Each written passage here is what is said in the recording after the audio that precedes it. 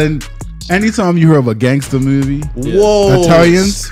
So Long Island is a big hub for the Italian community. I Look, look, look, look, look, look, look, look.